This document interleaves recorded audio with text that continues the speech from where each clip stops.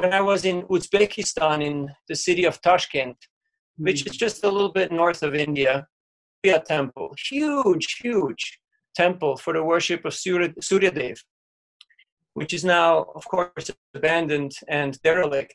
So the devotees there, they took me to a shrine of a Sufi saint. And we were both in plain clothes, and there was one Muslim person there, one Sufi praying.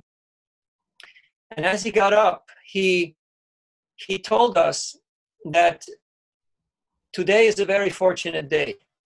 I see that you have come here to this tomb of this saint, and I know you're devotees of Krishna, and you're chanting God's names, and I very much appreciate that. So today, by Allah's grace, I'd like you to invite you to my home to, to share a meal with me. And I pray that all your spiritual desires will be fulfilled. So I was very touched because I was in a different country, this is a follower of a different religion, and he didn't know me, but he made me feel very welcome. He made me feel very accepted and very much loved. Whereas in other times, just to give you another example, uh, being in a certain temple and a senior citizen walked up to me and because I start looking a little bit older, so he asks me, are you a disciple of Srila Prabhupada? And I say no. So he just turned around and walked away from me. And I felt like, did I say something wrong? like, like, you know, like in these days, racism is, is a big topic.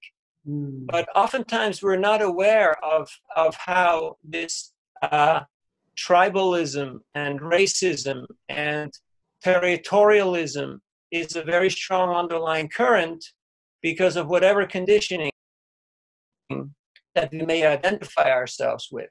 So when we read Chaitanya Charitamrita and Chaitanya Bhagavat, we see what you have described as a multi-guru environment where people of different spiritual masters are living together. And I just like to mention two very striking points which is in the Rathayatra at Puri, where there is seven different groups performing kirtan with their own leaders, with their own instruments.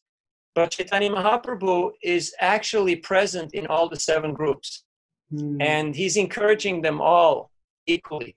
So I found that very striking and very encouraging how ISKCON is expanding, and we have literally devotees in all continents and in all countries.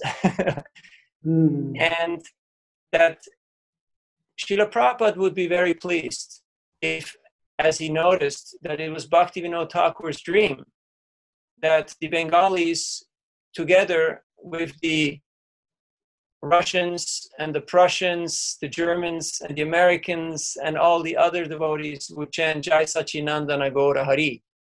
Mm. So that was his vision, that was his dream, that was his aspiration.